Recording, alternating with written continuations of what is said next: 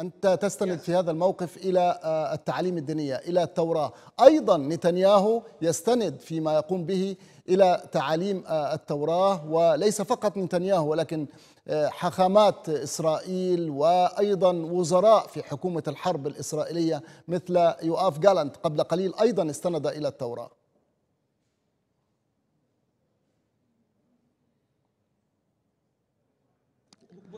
حسنا الأمر بسيط جدا إذا قرأت في التوراة وإذا سألت أي أحد ستجد أنه منذ أن بدأوا الصهيونية تجد تجدهم يتحدثون بلسان الدين ويمثلون اليهودية ولكن ذلك أمرا ليس صحيحا.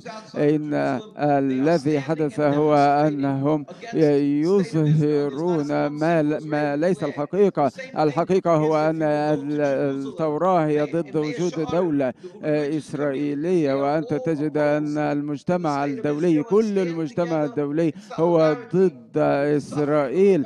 تجد أن الجميع ومنهم اليهود يتضامنون مع شعب الفلسطيني.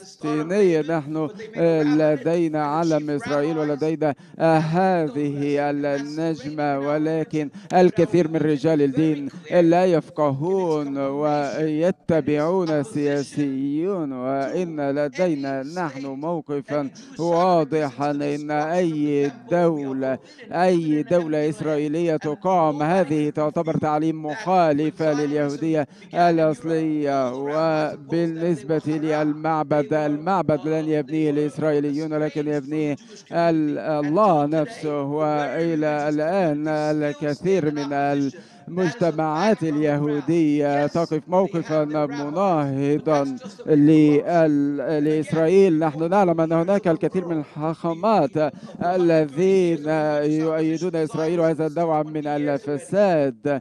إن هنا كتاب كتاب تستطيع أن تقرأ فيه أن